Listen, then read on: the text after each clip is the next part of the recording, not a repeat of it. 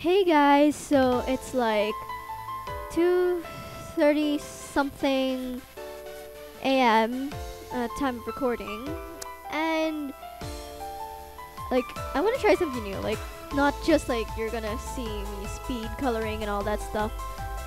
So yeah, I decided to draw a doll I won in an arcade in Bahrain with my friends. It was like in a school trip, so it was really fun. Oh yeah, and a little something to people. I am not going emo. Just like, like I just drew this because I thought it was cute. No, so that's why I decided to draw it. So I didn't want to show any of the inking because I had so many inking problems whenever, and the time when I tried inking it, I had to go out. So that's why I just showed the coloring process instead.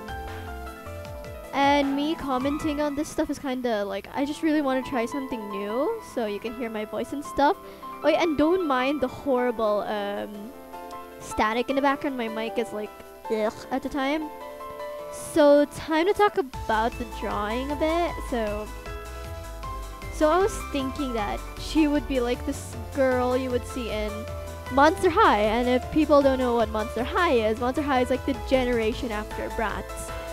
And um, if no one knows what Bratz is, Bratz is kind of like um, the rival of Barbie at the time. Like I was like a, gir- a little girl, so I love it.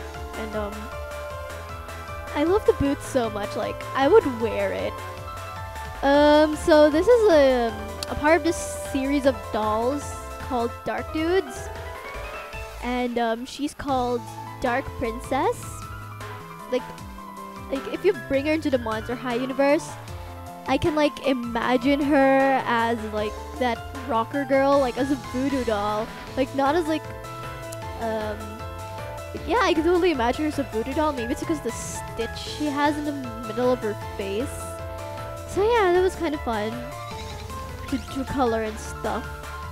Oh yeah, so like I had to draw a circle and stuff, and I couldn't find anything, so I just decided to use bowls. Like I had to like get a glass bowl, and whenever I entered the kitchen, my dad was like, "What are you doing? Why are you bringing a bowl to the to the bedroom?" So yeah, it was kind of fun. So yeah, I hope you enjoyed this video, and thanks for watching. Bye.